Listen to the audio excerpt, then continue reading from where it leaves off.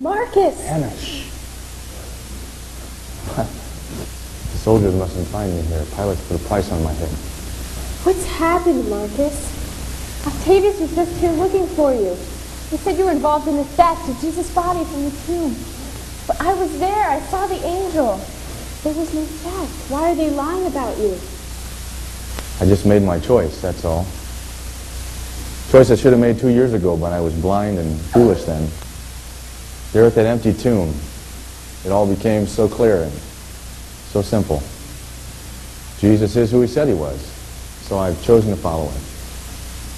This is wonderful, Marcus. But where will you go and what will you do? I only know I have to get as far away from here as I can. And uh, I don't want to go alone. You won't be alone, Marcus. You won't ever be alone.